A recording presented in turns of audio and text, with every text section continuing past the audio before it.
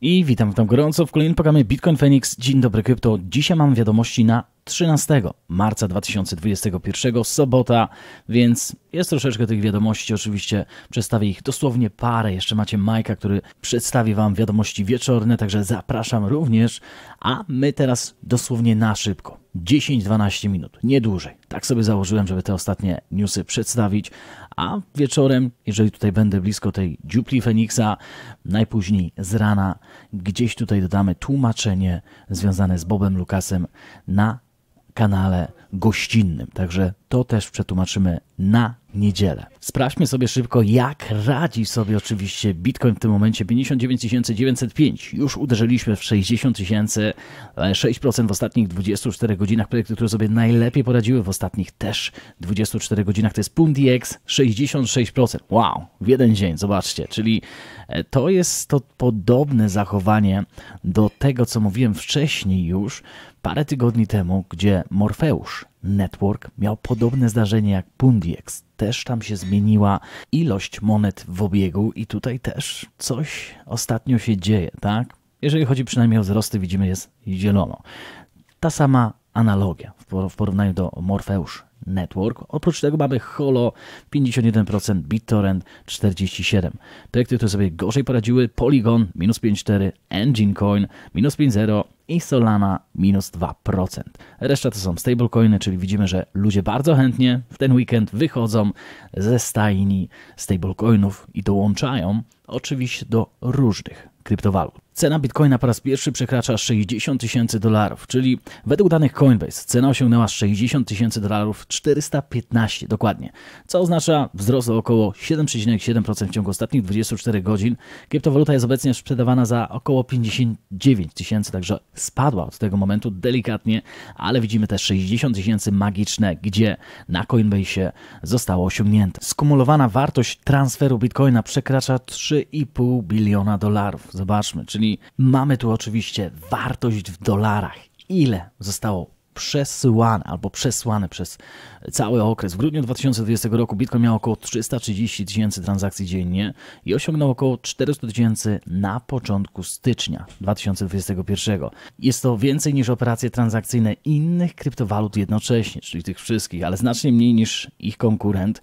Ethereum ponad 1,1 miliona razy dziennie jest przetwarzanych na konkretnej walucie, czyli widzicie 1,1 miliona w Ethereum jest przetwarzane, a w Chodzi o ilość transakcji, a 330 tysięcy w dziennych transakcjach na Bitcoinie. Porównajmy sobie to jeszcze do innych Bitcoinów, także transakcje można powiedzieć są mniejsze niż na Bitcoin Cash. Ostatnio Bitcoin Cash zaczyna tam dzięki oczywiście e, osobie kim.com działać tutaj sobie świetnie, e, jeżeli chodzi o e, media społecznościowe, chyba on tam tworzy, więc te transakcje eksplodowały też na Bitcoin Cash, a Bitcoin SV też ma więcej w tym momencie niż BTC, jeżeli chodzi o ilość transakcji w ciągu 24 godzin. Jak już jesteśmy przy statystykach, które bardzo często omijają, czy to Bitcoin Cash, czy BSV, więc liczba bitcoinów przetwarzanych w ciągu jednego dnia osiągnęła najwyższą wartość na początku 2021.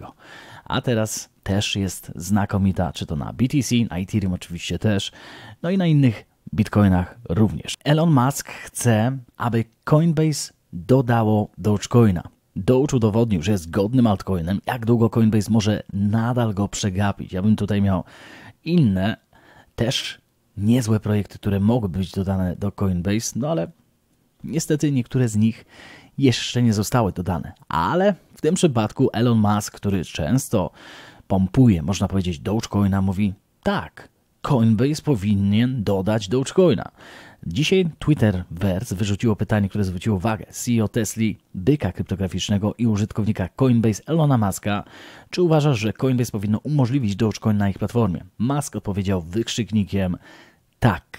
No i z tego tak zrobiła się wiadomość. Zobaczmy, czy ta wiadomość ma poparcie ostatnio w zyskach w 24 godzinach. No nie, 3,8%. Także na razie nie mamy tutaj efektu Elona Muska, ale jakby do, dodał się do tego Coinbase'a w niedalekiej przyszłości, na pewno będziemy mieć efekt Coinbase'a. Ethereum World News dodaje wiadomość o tym, że Binance Coin powinno mieć kolejne spalenie monet za około miesiąca czasu. No, te wiadomości się przydadzą na pewno teraz, bo wiemy, że Binance Coin spadł o 14%, gdy pojawiły się informacje o amerykańskim CFTC badającym ich giełdę Binance.com, a rok temu Binance Coin kosztował 6,40, czyli 6 dolarów 40. Z powodu spadku też wtedy mieliśmy koronawirusa, czyli tam nie tylko Binance Coin spadał, ale cały market, giełda, nazwaliśmy to już nieraz e, czarnym czwartkiem, o ile dobrze pamiętam, więc BNB kosztuje teraz 268 dolarów.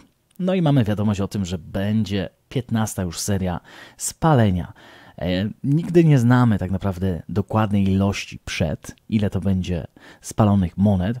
Dowiemy się pewnie w momencie, kiedy one będą wypalone. Kiedyś nawet CZ Binance zrobił konkursy na ten temat, czy wiecie albo jaka ilość będzie spalona i ktoś tam mógł wygrać ewentualnie coś. Nie wiem, czy to będzie powtórzone, czy, czy nie, e, ale no mamy pozytywną wiadomość tym razem o Binance. Do tego Crypto Ninjas informuje nas o tym, że Binance wypuszcza wersję alfa nowej funkcji płatności programu handlowego Binance Pay. Czyli w lutym ubiegłego roku Binance wydało wersję beta Binance Pay wyłącznie do płatności peer-to-peer. Podczas tej fazy beta około 250 tysięcy użytkowników weszło w interakcję i doświadczyło Binance Pay. Obecnie Binance Pay jest dostępne zarówno dla płatności peer-to-peer, jak i transakcji opartych na handlowcach. Nowa platforma płatnicza dzięki obsłudze ponad 30 walut płaci i otrzymuj płatności w Bitcoin, Ethereum, BNB e, i nie tylko. Dzięki Binance Pay użytkownicy mogą wybrać kolejność walut, w których chcą dokonywać płatności. Użytkownicy mogą natychmiast przenosić środki między swoim Binance Pay, a osobistym portfelem spot lub wypłacać środki do wybranego banku. Więc dzięki tej usłudze będzie można akceptować płatności online i osobiście. Więc tutaj jest bardziej odgrzewany kotlet tego, że już mieliśmy tę informację pod koniec lutego, ale hmm, no te wiadomości na pewno nie wychodzą bez kozery, bo chcemy uspokoić pewnie inwestorów tymi wiadomościami, że wszystko jest ok, spokojnie. CFTC to będzie tylko jedna rzecz, o tym mówi też CZ Binance, gdzie nie ma tam postaw do tych oskarżeń, można powiedzieć, czy zdania CFTC, które bada dopiero Binance. Więc co się okaże z tego, tak naprawdę dowiemy się już niedługo. Osoba, która wzięła najdroższy na świecie NFT z rąk Justina Sana jest właścicielem funduszu NFT. O, już się pojawiły fundusze nawet NFT. Justin Sun był drugi, e, mógł go kupić oczywiście. Był bliski zdobycia 69 milionów dolarów za powiedzmy taki wyczyn, jak oni tutaj to nazywają, reklamowy, czyli e, no dosłownie kilka sekund dzieliło go od wygrania aukcji na najdroższy żeton NFT na świecie. Ale sprawy nie potoczyły się tak, jak się spodziewał. Sprzedaż Every Days The First 5000 Days w domu aukcyjnym Christie przeszła do historii jako pierwsza aukcja produktu elektronicznego najdroższego na świecie tokena NFT i trzeciego najdroższego egzemplarza kiedykolwiek sprzedanego przez żyjącego artystę. To jest właśnie ten obraz. No i tutaj hmm, bardzo dużo osób spekuluje na temat prawdziwej wartości oczywiście NFT. Widziałem już tutaj zagraniczne nawet tematy u youtuberów zagranicznych, gdzie e, na przykład e, jeden z tematów był po prostu to jest drogi JPEG. Czy czasami NFT to nie jest drogi JPEG, czy zdjęcie, które, które tak naprawdę nie daje nam za wiele, poza po prostu no, tym, że jesteśmy na pewno na pierwszych nagłówkach gazet, że ten JPEG należy do nas. Może tutaj większość tych youtuberów, czy nawet ja, jestem po tej stronie, że nie rozumiem tego szaleństwa, co nie oznacza, że jeżeli ja czegoś nie rozumiem, to to nie będzie pompować w niebogłosy, tak? Po prostu ja osobiście na niektóre te JPEGi nie wydałbym na pewno tyle pieniędzy, co ci ludzie. No ale z drugiej strony pamiętajmy, że to jest nowe szaleństwo, a jak już mówiłem na ostatniej audycji, z szaleństwem się nie dyskutuje. Z trendem się nie dyskutuje. Więc Zobaczymy, co z tego wyniknie. Wróćmy do tego jeszcze artykułu. Zwycięzca Metakowan od jakiegoś czasu przebywa w ekosystemie NFT. Metakowan założył i rozwinął fundusz NFT MetaPurse, co czyni go mniej niż mózgiem jednego z największych na świecie funduszy inwestycyjnych NFT. Metakowan nie komentował ich osobistych kont, ale zespół MetaPurse potwierdził wiadomość. Fundusz Metakowana inwestuje znaczne kwoty pieniędzy w unikalne żetony w taki sam sposób, w jaki inwestor kupuje przedmioty kolekcjonerskie baseballu, a handlarz dziełami sztuki inwestuje miliony w rzadkie przedmioty, czy powiedzmy jakieś obrazy, tak?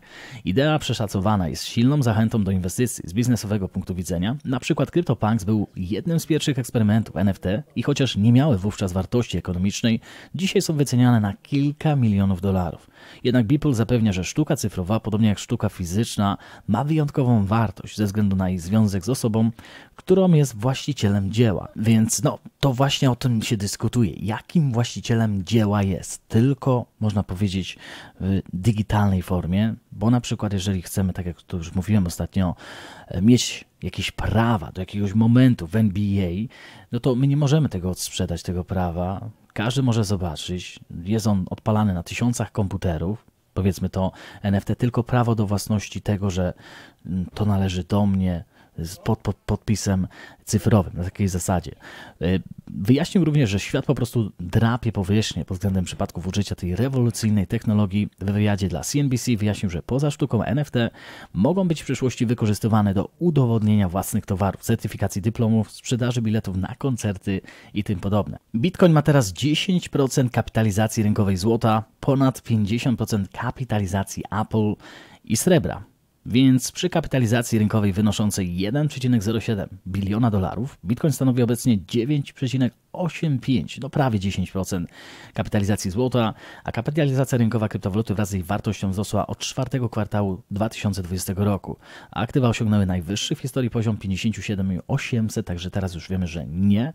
E, już mamy 60 tysięcy na Coinbase, więc dalej, jeżeli by to porównywać do gdzieś firmy Apple. W tym momencie kapitalizacja rynkowa waluty cyfrowej również stanowi około 53% wartości 2,07 biliona dolarów firmy Apple, a gdzie indziej srebro ma kapitalizację rynkową na poziomie 1,42 biliona dolarów, a Bitcoin stanowi 76% w tym momencie. Fajna grafika i pewnie ona pójdzie na miniaturę, ale faktycznie widzimy jak tutaj się wzmacnia ta wartość w tym momencie BTC. 333 miliony shortów zlikwidowanych pozycji w ciągu kilku godzin, gdy Bitcoin wzrósł do 60 tysięcy dolarów. Także nie warto być, można powiedzieć, przy podwójnych szczytach ostatnio.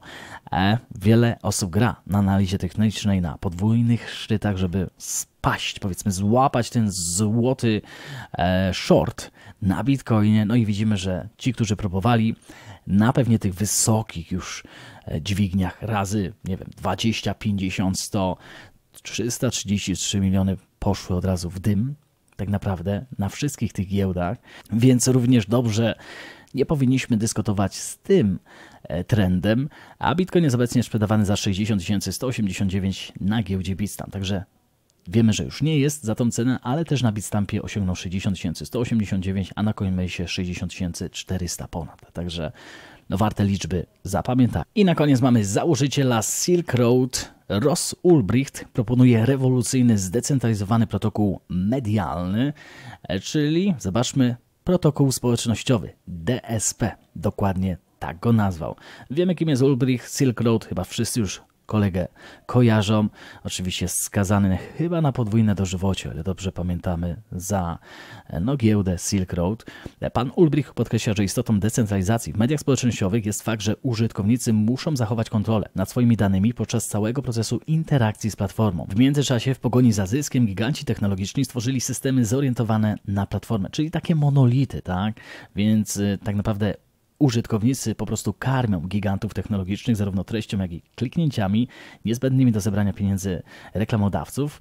No a wiemy, że tutaj oni górują wtedy, tak? Aby ponownie rozważyć istniejący porządek, systemy mediów społecznościowych nowej generacji powinny skupić się na użytkowniku.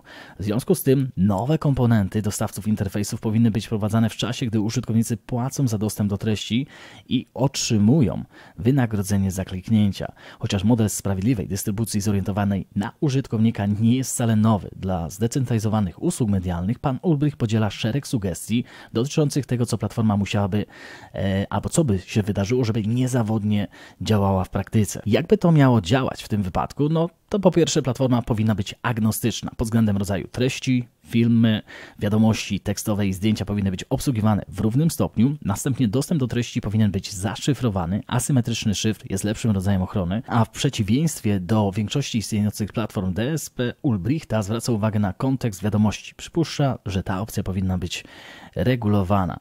Więc profilami użytkowników, kontami można zarządzać za pomocą par kluczy, takich jak portfele kryptowalut. Ponadto cyfrowa waluta może być środowiskiem technicznym dla opłat na platformach podobnych do DSP.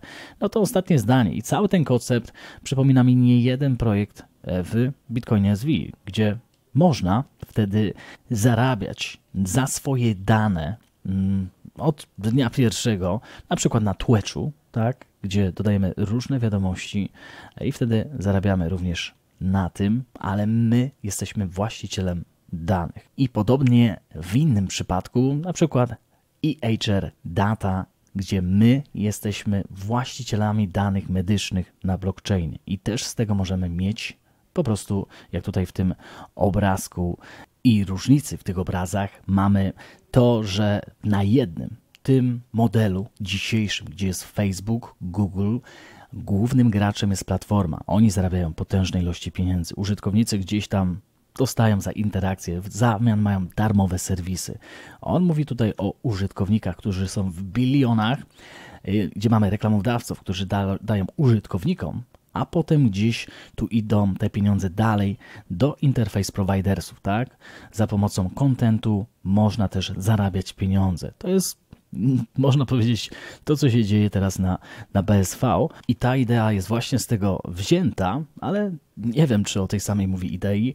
Akurat tutaj e, Ross Ulbrich, bo nazywa to DSP, wprowadzenie zdecentralizowanego protokołu społecznościowego, ale działa to na takim samym, można powiedzieć, e, stopniu użytkowania myśli, wizji, jak powiedzmy w BSV dlatego że no, tam jest skalowalność, tak? Więc można to robić w bilionach użytkowników i nawet system się nie powinien zająkać. Jeżeli by tutaj wierzyć oczywiście e, osobom, którzy prowadzą projekt, czy, czy Satoshi Nakamoto, który mówił o tym, że Bitcoin w niedalekiej przyszłości będzie mógł obsługiwać biliony użytkowników, a transakcje mogą być wyższe niż na Wizie i Mastercard. Oczywiście mówimy o ilości transakcji, tak? Więc no, zobaczymy. Będziemy obserwować, co tutaj nam ten Ross Ulbricht planuje wyczaić. Czy to będzie zupełnie inny blockchain, czy po podobna idea, czy zupełnie inaczej. Ale fakt jest faktem, że dzisiaj molochy, Facebook, Google i inne, tak naprawdę mm, można powiedzieć tutaj platformy społecznościowe, no mają monopol. Przy tym monopolu mają też cenzurę, która jest wprowadzana, jeżeli mamy inną wizję albo nie zgadzamy się, jesteśmy w ruchu szczepionkowym albo antyszczepionkowym, no to jedna z tych nacji musi być mocno e, no, ładowana gdzieś tam na manowce na tych platformach, bo to nie idzie z głównym nurtem. No i to jest problem właśnie w tych molochach dzisiaj, tych wszystkich firm, e, które no po prostu zarządzają mediami społecznościowymi. Dobra, mamy to, troszeczkę się przedłużyło, no ale były tu jeszcze wywody na koniec, także życzę Wam wspaniałego weekendu. No i pamiętajcie, zostańcie z Bitcoinem.